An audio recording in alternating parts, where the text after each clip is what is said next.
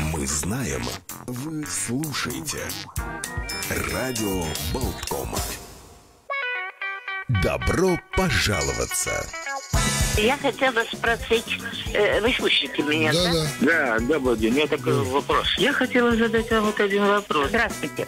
Я по такому поводу. Каждый понедельник. По сути вашего вопроса, первое, Пожалуйста, да, ответьте на вопрос, почему такой закон принят? это уже не соблюдение строительных нормативов. В 10 утра. Добрый Господин Сидорко, не могли бы вы э, разъяснить проблему проверки счетчиков? А, Здрасте, вот вопрос такой. У нас два подвала идут параллельно, да? И два входа в них. Обстоятельные ответы А как? Вы не могли бы нам посоветовать? Я могу это очень коротко сказать, что на коммунальные вопросы. очень сложный вопрос. И это вопрос, наверное, не домоуправления и даже не жильцов. Я понял вопрос. Спасибо. В законе написано очень четко. Председатель правления Центра собственников квартир Сергей Сидорко. Но вопрос у меня будет господину Сидорку. Я могу его задать? Не было ни одного случая, когда долги просто. У меня к вам вопрос. А к кому вы хотите предъявлять претензии? В программе «Добро пожаловаться». Ну, таков наш закон. Всем доброго дня. Начинается программа «Добро пожаловаться». Я напомню, что ваши жалобы, предложения, вопросы вы можете присылать. Присылайте, пожалуйста, их на номер WhatsApp 2306191, 2306191 или звоните в прямой эфир 67212 939 67213 939. На ваши вопросы сегодня отвечает председатель правления товарищества Центра консультации собственников квартир, председатель кооператива БАКа-2 Сергей Сидорко. Здравствуйте, Сергей. Доброе утро. Э, Я вот хотел начать э, нашу беседу вот с такого вопроса, с ситуации. Э, Дело в том, что ну, еще совсем недавно мы помним о том, как в городе стояли хозяйские дома заброшенные, на которые вот на реновацию которых не было денег, и такой вот позор для города, и городские службы приняли решение о том, что такие деградирующие здания будут облагаться э, повышенным налогом. Там, по-моему, значит, налог от кадастровой стоимости обычно на- налог на соб- соб- собственность составлял э, 0,2%, а таким повышенный он 3%. И это, в общем, привело к тому, что, да, действительно стали эти дома или приводить в порядок, или, ну, уже продавать тем, кто может их привести в порядок. Однако, вот этот, э, это, можно сказать, оружие или, не знаю, инструмент э, против таких нерадивых хозяев сейчас обернулся э, в сторону э, многоквартирных домов. И вот уже, по-моему, есть один такой прецедент, когда люди, жившие в... Ну, там, по-моему, не... Мы уже затрагивали тему с балконами, что не приводили в порядок балконы, балконы пришли в негодность, запретили пользоваться балконами, начали уже осыпаться балконы, и к дому присвоили э, вот этот статус э, деградирующего. Жители с удивлением вдруг обнаружили в счетах, э, значит, то, что они должны заплатить налог не 30 евро, как там обычно было в год, а 550. И для них это было просто шоком, потому что, ну, плюс еще вот эти все коммунальные выросшие платежи. Вот я хотел спросить, вот насколько, как вам кажется, вот этот инструмент, который э, как будто бы был сначала, э, чтобы приструнить ну, нерадивого одного хозяина дома, будет ли он действовать для многоквартирных домов, где вот этих владельцев очень много? И что делать, если эта ситуация начнет, ну вот не один такой будет дом у нас, а будет их там э, десятки, а может быть даже сотни появятся, и вот э, начнутся массовые неплатежи, и вообще как, куда это может ситуация в результате вывернуть? Не произойдет ли какой-то социальной, я бы сказал, катастрофы? Ну, давайте начнем с того, что когда Вическая дума принимала положение о деградирующих зданиях, там не было сказано один владелец, много владельцев и так далее. Просто что было сделано, это, да, это жилые дома, это, это распространялось в первую очередь на жилые дома, потому что 0,2 ставка налога на недвижимость э, 0,2% применяется к жилым домам. Значит, попадали под это, под это постановление попадают абсолютно все жилые дома. Многоквартирные жилые дома. Независимо от того, это там э, дом может быть многоквартирный принадлежать одному собственнику или десяти собственникам или ста, это не важно. Это первое. Второе, акцент э, работы Рижской думы был направлен в первую очередь на исторический центр. И поэтому ну, у нас создалось впечатление, что это какие-то дома там, которые расположены в недешевых районах, ну, что это действие направлено против. Нет, это, это положение касается всех деградирующих домов. Просто-напросто специальная комиссия занималась длительное время именно домами в историческом центре. Это первое. Второе, то, что процесс перехода на повышенную ставку, он не упрощенный. То есть на самом деле сначала комиссия осматривает там соответствующие объекты, выносит постановление о том, что она собирается признать это деградирующим, выносится на комиссию, при этом одновременно управляющий или владелец здания оповещается о том, что ему грозит такая неприятность, человеку дается или, ну не человеку, а объекту дается время подготовить план мероприятий, утвердить его в департаменте имущества, и тогда можно на какое-то время избежать наказания приступить к ну, устранению этих недостатков, потому что все прекрасно понимают, что чтобы перевести, чтобы вообще устранить звание деградирующего здания, необходимо капитальное техническое обследование, необходим проект, как правило, необходима проектная документация, все это нужно утвердить. Поэтому если владелец здания своевременно реагирует на такие вещи, то, как правило, ему дается срок. Ну, а в данном случае, ну, по всей видимости, я не знаю, там, в чем была проблема коммуникации, но, возможно, собственники квартир не восприняли это всерьез. Не восприняли, да. Там как раз в публикации говорилось о том, что многие, ну, это они получали это извещение, но совершенно как-то пропускали его мимо ушей, ну, какая-то бумага пришла, боже мой, там. Ну, мы вообще, наверное, любим не читать бумаги. Это первое. Второе, я хочу сказать относительно второй части, не приведет ли это к какому-то взрыву. Вообще, техническое состояние, вот я, понимаете, мне сложно это сказать, но я скажу все-таки так, что если мы берем серийный фонд, который жил и построен в советское время, у него состояние двоякое. Часть элементов требует срочного или неотложного ремонта. А в принципе сам конструктив способен служить еще долго и упор. То есть э, сейчас, э, еще раз напомню, что эти здания были построены в короткий период, там, в течение 10 лет. Основной жилой фонд Риги был построен в течение 10 лет. И у него были специфические условия эксплуатации, эти условия были прописаны в нормативных документах, но, к сожалению, еще Советского Союза – и никто эти нормативы, эти правила технического содержания здания особенно не придерживается и не выполняет. Поэтому отдельные элементы здания начали ну, приходить в негодность. И этот процесс, к сожалению, может быть таким лавино, лавин, лавинообразным или взрывоопасным, потому что ну, здание служит уже 40 лет, грубо говоря, как минимум 40 лет. И э, через какое-то время, ну, логично, что что-то придет в негодность полную, и это будет почти одновременно, ну, то есть в историческом понятии там, в течение двух-трех лет или пяти лет во всех зданиях. Что вызовет, я думаю, очень большое напряжение. Как минимум. Это первое. Поэтому надо сейчас всем собственникам очень серьезно относиться к этому вопросу. Второй момент, который есть сейчас, если вы обратите внимание на публикации, то Евросоюз готовится принять жесткий документ по энергоэффективности зданий, где уже будет там не рекомендация, а будет требование, чтобы к 2050 или 2035 году энергоэффективность здания соответствовала каким-то параметрам, и что будет за невыполнение, я еще не знаю. Но, в принципе, это логичный, давно предполагаемый ход о том, что здания в силу их изношенности, в силу изменения вообще окружающей среды в силу ну, изменения в том числе и энергетической политики, они должны потреблять намного меньше. И, и при соответствующих действиях они способны потреблять намного меньше энергии. Поэтому нас сейчас заставят еще и с этой стороны.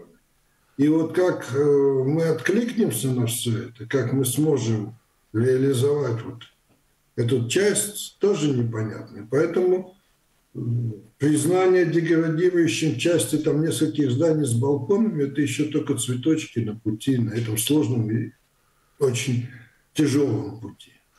Но ведь мы вот как раз и сталкиваемся с этой проблемой, что, ну, очевидно, что-то ну, вот неправильно в, в датском королевстве, если работающий человек, вот он живет от зарплаты до зарплаты, и его средств хватает только вот, ну, на поддержание, ну, не знаю, там, по покупку продуктов, каких-то необходимых, самых необходимых вещей, а он не может вкладывать деньги в свое жилье, то есть, ну, чтобы его поддерживать должным образом. То есть, вот, э, ну, по идее, должно быть э, зарплата, вот, чуть ли не, я не знаю, минимальная, она должна как бы включать в себя, вот, опять-таки, вот эта корзина потребительская, не знаю, как это назвать, но то есть то, что человек э, за месяц получает, должно учитывать еще и необходимость откладывания денег на, в какой-то фонд на ремонт, на какое-то обустройство зданий. И вот если мы сталкиваемся с тем, что э, люди ну, просто делают, ну, отказываются э, от этого, говоря просто, что у них выбор стоит, или э, купить продукты, или деньги вложить, то есть мы столкнемся с какими-то действительно социальными проблемами, то есть или люди будут бросать это деградирующее жилье и уезжать на заработки куда-то в другие страны, где более высокие зарплаты, или мы столкнемся с каким-то, я уже не знаю, там социальным действительно напряжением в обществе, просто когда люди останутся, ну, вот реально и э, самоуправление, и государство столкнется с тем, что будут люди без крыши над головой, их нужно будет как-то устраивать. Ну, у меня первый вопрос такой, не могут или не хотят? Это первый вопрос, потому что скажем, столь мрачную картину я для себя не рисую, хотя я понимаю, как тяжело жить. Но я столь мрачную картину не рисую и думаю, что на самом деле за, зачастую эти проблемы связаны, первое, с тем, что люди не хотят понимать, и люди до сих пор не воспринимают э, вообще это как собственность. Ну давайте я сошлюсь на такую вещь, я вот долго думал. Мы как только начинаем эти разговоры, сейчас должен раздаться звонок, где скажут, а почему нам, когда передавали собственность, не привели в порядок? Так ведь? Ну, наверное, Ждем. да. Ожидаемый звонок. Но я как-то подумал, ребята, в 95-м году вам передавали жилье, построенное в 80-м. То есть этим домам было 15 лет. Вы чего хотели?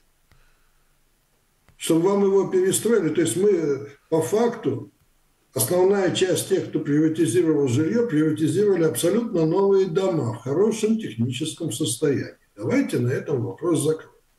То, что сейчас дома стали намного хуже, это результат нашего хозяйствования как собственников. Или наше, ну, так оно есть на самом деле. Это первое. Второе, приведет ли это к взрыву? Я думаю, что вообще-то жилищный коллапс – это вполне ожидаемый. Потому что, скажем, с одной стороны, вы говорите, не, я скажу, не хотят. С другой стороны, есть люди, которые действительно не могут, но не надо забывать, что довольно неплохая поддержка идет. И вообще, в принципе, если люди, основная масса хочет, то, наверное, государство могло бы тем, кто не может, выделить силовое финансирование. Это гораздо более дешево и дешевле, или дешевле, это будет дешевле, чем ну, вообще вот разрушение этих зданий. Ну, в связи с этим, но еще что тормозит все это дело, это тормозит отсутствие какой-то ясной и внятной государственной политики. Потому что если бы было ясно, что там вот столько тысяч или миллионов квадратных метров жилья нужно будет провести по определенной программе, то, наверное, под это бы бизнес бы строил бы производственные мощности, ну, искал бы ресурсы, там, материалы и так далее. И это был бы какой-то долговременный план, при котором возможно нормальное предложение строительных услуг по нормальным ценам. Сейчас же мы не можем. Почему? Сейчас, э, если я реновировал, скажем, в 2000 каком-нибудь пятом-десятом году дома со средней стоимостью квадратного метра 100 латов, ну это считайте там 140 евро за квадратный метр, то сейчас 400. Насколько оправдан рост одних и тех же действий? Это тоже тут вопрос большой. У нас между тем звонок есть. Здравствуйте, пожалуйста. Э, Доброе утро. Доброе. Вот извините, Олег, вы всегда клоните к какой-то тотальной бедности. Ну, неправда. Ну, э. Нет, ну- бедные люди, они всюду есть, да. Но Просто действительно нет желания и нет понимания о том, если имея на каждого члена семьи машину, там дачи, все имея, квартиры, ремонты, там все есть. А как общее, даже вот увеличить там плату на ремонт там будущих периодов, как нам на каких-то 15 центов, нет, это нет, это уже посчитали, что это кому-то 10 евро в месяц будет все. Ну, желания нет, вот. И, и не надо говорить о бедности. Какая-то часть бедная, но им действительно помогают, и если надо будет. Но все-таки, к сожалению, очень много у нас, ну, безответственных, я не знаю, как, как понимать вот таких людей. Спасибо. Спасибо. Ну, вот э, мне кажется, действительно очень странный парадокс, когда у человека есть свой собственный дом, он прекрасно вот как бы осознает, что никто крышу ему не отремонтирует, если она прохудилась. А если речь идет о многоквартирном доме, то здесь сразу возникает вопрос, кто под этой крышей живет, кто там ближе к первым этажам. И ему вроде бы кажется, что эта проблема не такая актуальна. То есть вот ну, все эти вот собрать собрание, э, договориться, это каждый раз очень-очень сложно, и вот буквально проход, ну, нужны очень иници- инициативные люди для того, чтобы это прошло. Ну, вот опять-таки мне, понимаете, вот эта вот политика государства. Давайте соберем собрание.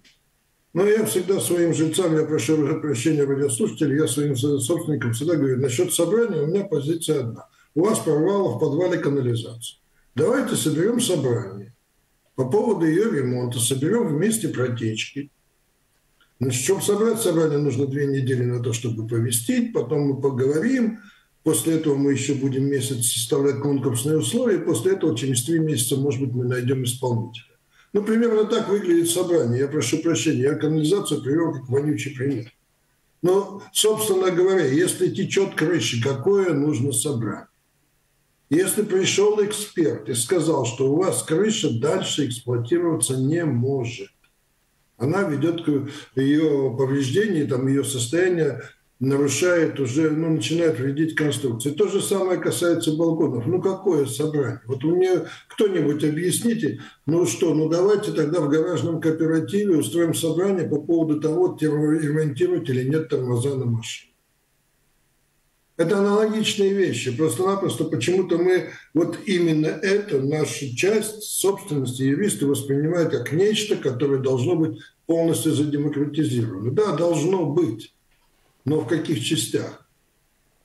Ведь если есть, есть ремонт, есть регламентный ремонт, есть необходимый ремонт, я думаю, что здесь какие-либо обсуждения не должны быть.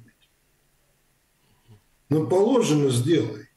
Но так во всем мире. Потому что, ну, я бы еще привел такой пример. Ну, вот, допустим, всеми законами запрещено сознательно уничтожать имущество.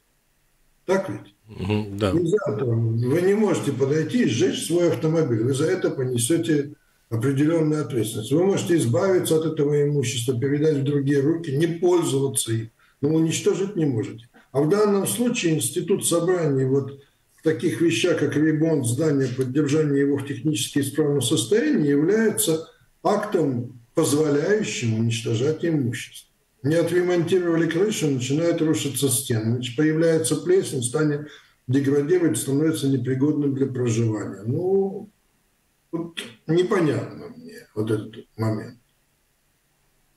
И, кстати говоря, сколько мы там не пытаемся, сейчас опять, если смотреть, есть попытки законодателя, там, Министерства экономики через новый закон о управлении жилым фондом как-то стимулировать людей. Но опять-таки стимулировать не ремонтировать, а к демократии, потому что там прописана примерно такая в грубом изложении норма, что если кто-то из собственников квартир поставил вопрос о ремонте крыши, а, больше, а, а часть собственников квартир, причем больше, или проигнорировала этот вопрос, или проголосовала против, то в этом случае против тем, кто проигнорировал вопрос и проголосовал против, эти пострадавшие собственники могут обратиться к ним с материальными, ну, с материальными. Mm-hmm. Ну, вроде бы классно, но Я из этого делаю выход. Во-первых, тогда у нас должны быть собственники супер юридически подкованными, потому что они должны знать, в каких случаях они, кому они могут предъявлять претензии. Это первое. Второе, ну, судам у нас делать нечего. Да. Судам делать нечего, да, потому что, скажем так, если э, условная квартира номер 30 проигнорировала голосование, в результате этого произошел, допустим, произошло э, там повреждение конструкции, то все оставшиеся, то все собственники, там, скажем, 60-квартирный дом, ну, условно говоря, 29 проголосовали за, а 31 против. Значит, 29 человек могут подать иск против 31. Да, ну, классная вещь. Судьям, адвокатам, судьям работы будет до и больше. А толку? А крыша таки останется не отремонтирована. Главное, что когда все ну, все взыщут, крыша останется не отремонтирована. У нас, между тем, еще один звонок. 67213-93-9. Здравствуйте. Алло, доброе утро. Доброе. А, вы знаете, вот мне непонятно, разные законы у нас существуют на одну и ту же тему, что ли, или как? Вот э, я просто скажу, допустим, э, дом, э, или так правильнее, управляющий э, в октябре присылает дому э, смету работ на следующий год. В этой смете э, смету затрат на, след... на э, управление домом. В этой же смете прилагаются э, предлагаемые э, ремонтные работы обязательные и, э, значит, э, деньги для этого. Если жители дома э, не желают, значит, разбираться с бумажками и читать их, то они не возражают против этих предложений. И эти предложения по умолчанию включаются в их счета. Значит, и вот у нас есть каждый год перечень работ э, с, с той же самой крышей. Э, было определено, что крышу надо ремонтировать. И этот, э, эту сумму ремонта внесли сразу же в перечень обязательных ремонтных работ. И мы за это все платили. Крышу отремонтировали. Второй вариант. Э, управляющий, если какая-то срочная поломка, неисправность, он имеет право, это же законно, взять из этих накоплений на ремонтные работы сумму, чтобы оплатить э, срочный ремонт. Нам просто в подъездах вывешивают уведомления, что была такая-то проблема, ее устранили, на это пошло столько-то евро. И все. Кто вас обслуживает? Не, не очень понятно. Спасибо. Подождите, а кто вас кто обслуживает? Вас Человек повесил трубку, к сожалению. Но я могу сказать, что радиослушательница правильно подметила, есть два правила для, для двух случаев есть регулирование, как принимается. Есть э, законодательство, которое прописано для домов которые прошли полную приватизацию, то есть которые переняли управление на себя, это кооперативы, это те дома, которые ушли. Но если мы говорим об условиях Риги, ну, условно говоря, от Rīgas namu pārvaldnieks или ушли от государственных каких-то управляющих компаний. В этом случае все должны за все голосовать. Есть второй случай, там, где имущество не перенято до конца. Это в основном распространяется на Rīgas namu pārvaldnieks. Там отдельное регулирование.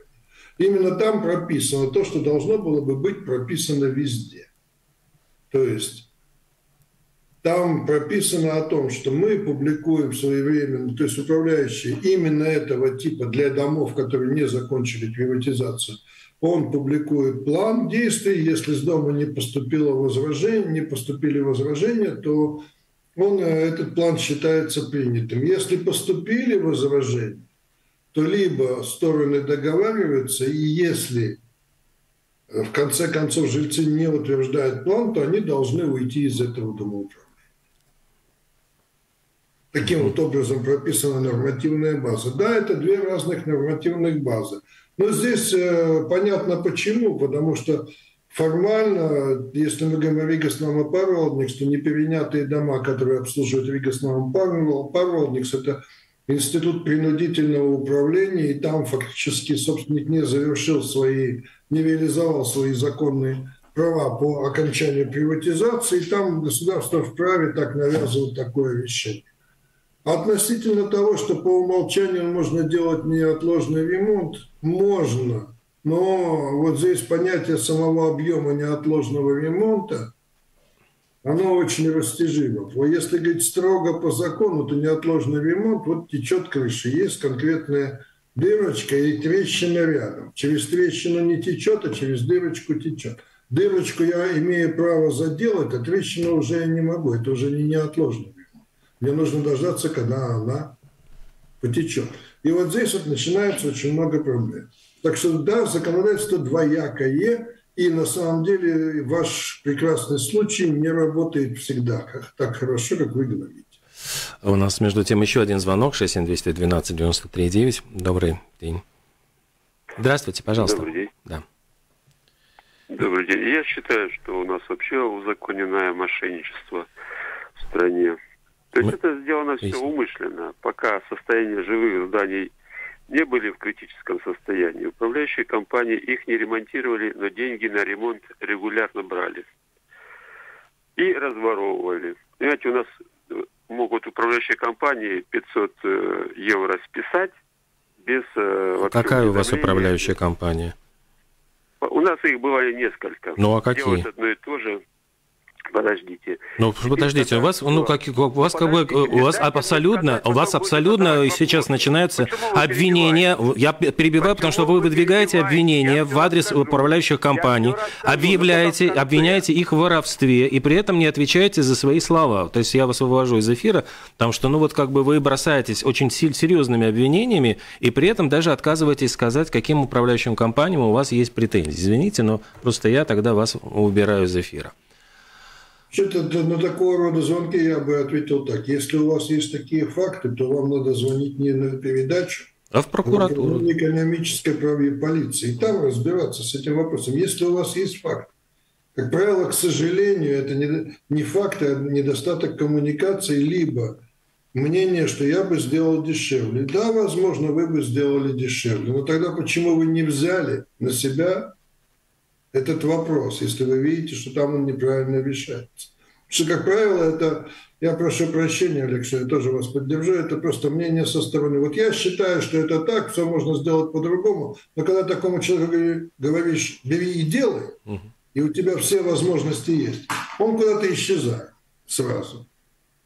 В данном случае, если у вас есть сведения, что вас обманули, обокрали, сделали что-то неправильно, есть для этого куча правоохранительных органов. Они с удовольствием будут разбираться в этой ситуации.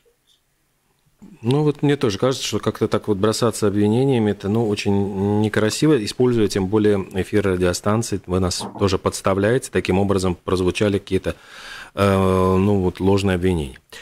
А можно ли сравнить действительно вот эту ситуацию, ну вот с этим двойным, получается, вот как бы законодательством, с, двойным регулированием? И а я, я понимаю, что по вашему мнению, Сергей, вот как раз э, стоило бы распространить вот это э, обез, ну вот регулирование РНП на все случаи, да? На случай регламентных работ, и, ну, понимаете, я хочу сказать так, ну, если нужно для здания, что там через 30 лет менять крышу. Ну, допустим, я опять прицепился к этой крыше.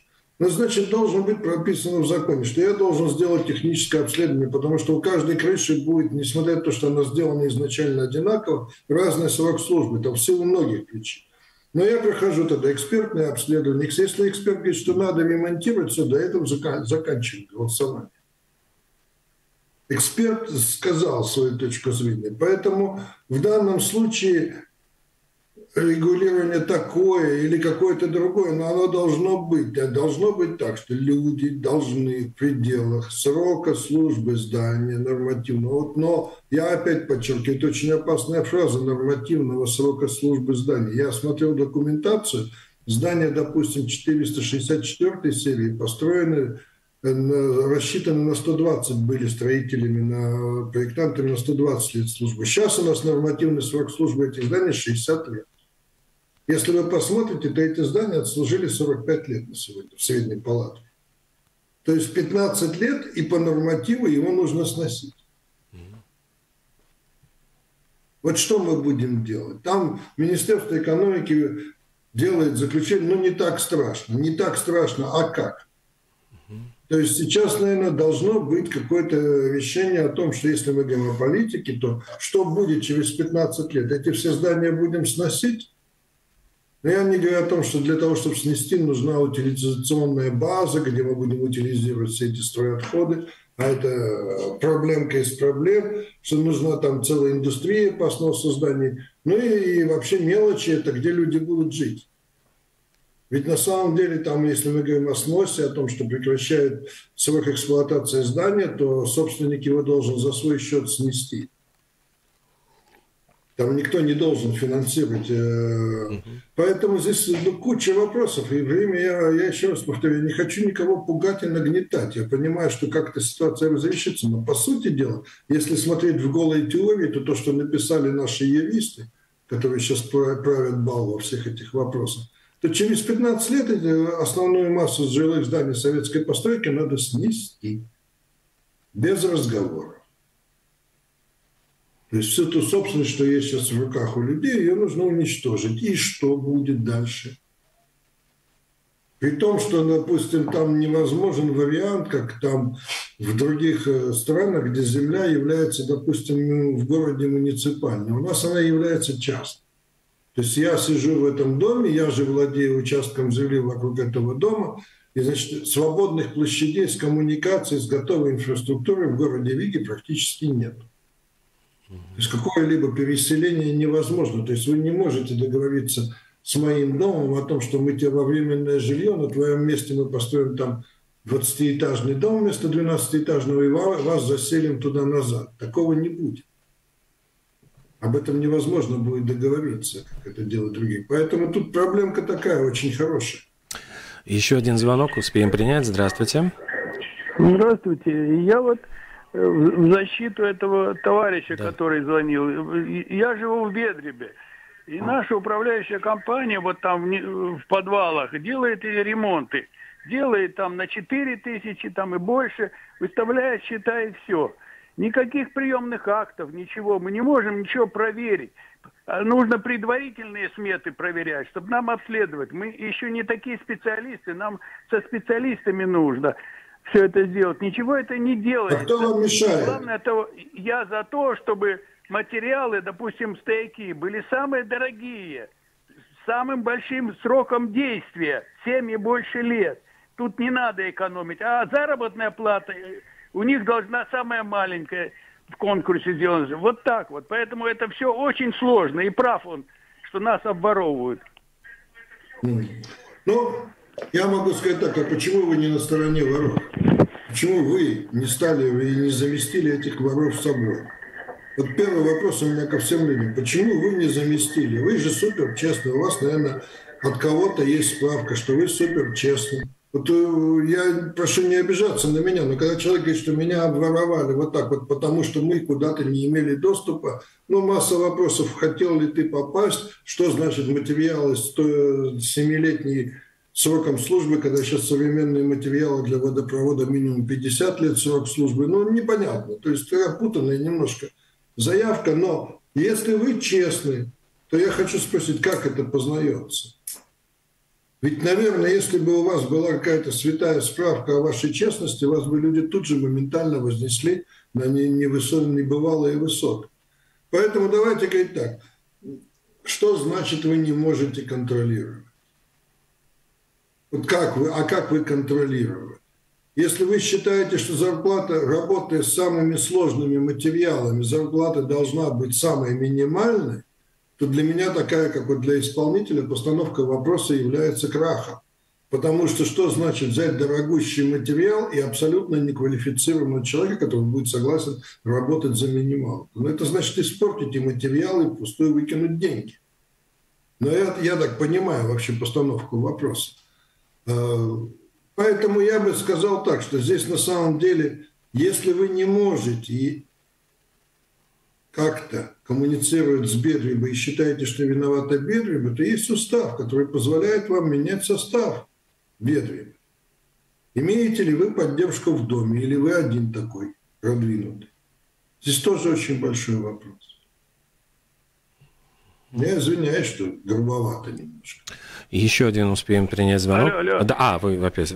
Вот я вам скажу, допустим, как мы меняли стояки. Очень просто. Значит, я сказал, все, все эти самые трубы выложить около мусорника. И я все по размерам посчитал эти самые метраж этих труб. И обнаружил, что половина меньше, чем в смете. Вот как с ними бороться? Не, не совсем понял. Э, Половина да, чего да, меньше, да. чем в смете? Чего? в- Что вам непонятно?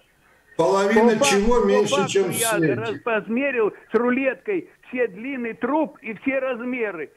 И оказалось меньше в два раза, чем с нас взяли У деньги. меня такой вопрос. А вы оплатили до этого детальный проект? Вот вы оплатили, потому что детальный проект на дом, чтобы прорисовать со всеми точными размерами, но он будет стоить, ну, энное количество тысяч. Там ни одна, ни две. Вы это оплатили? Вы Ну, при- какой собрали, собрали, сказали, вот, ребята, надо за десятку сделать проект. А как вы хотите? Это первое. Второе, я не знаю, что вы мерили, все ли вы померили, все ли в вашем доме было поменено. И тут масса вопросов. Все, Но что они концов- заменили, все я замерил. Все, что замерил. Только так можно проверить по факту. То, что вы, вы мне сами сказали, все, что вынесли, а то, что не вынесли.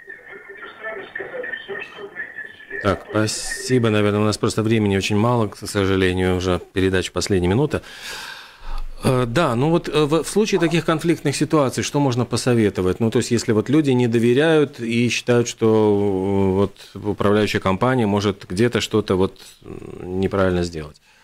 Есть два только варианта. Первое – это очень подробная техническая документация до начала строительных работ.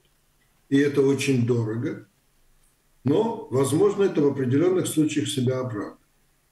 И второй случай – это если вы не доверяете, вы можете отказать в праве заключать контракт управляющей компании, а использовать ее в качестве, ну, условно говоря, ну, денежного транзитера. То есть есть так называемый трехсторонний договор, когда кто-то, вот такой товарищ, который продвинутый и все очень хорошо понимает, берет на себя ответственность за заключение договора, за выдвижение технических, получает решение дома и, пожалуйста, действуйте, никто не запрещает. То есть есть варианты, если вы хотите и вы уверены. Ну что ж, спасибо большое. Это был председатель правления товарищества Центра консультации собственников квартиры, председатель кооператива БАКа-2 Сергей Сидорко. Продолжим на следующей неделе, в понедельник. Всего доброго, до свидания.